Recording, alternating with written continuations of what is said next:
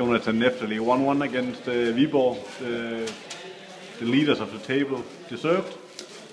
I think uh, I think we deserved it because we make a, a good game, a good defensive game. We didn't have a lot of the ball, but uh, we make a, a, good job. We work hard, and uh, of course, uh, I'm a little bit sad because I expect to get uh, three points today, especially after that we get in front of the of the score. And we had a small problem there in a cross and the score, so so yeah, I'm, I'm a little bit sad.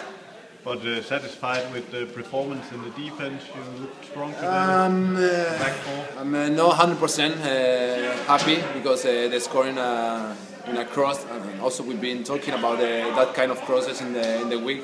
And they are good in that, and uh, we've been talking about we have to be focused in that, and I'm not 100% happy. But it's okay. Where do you see the areas where we can improve our game?